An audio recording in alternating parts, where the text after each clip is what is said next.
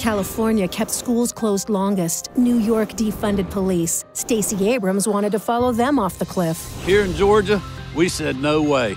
They wrecked their economies. We broke records for new jobs because we ignored California, New York, and Stacey. Governor Kemp reopened first, brought thousands of jobs, and funded police. I'll always put hard work in Georgians first, and together, we'll keep Georgia the best place to live.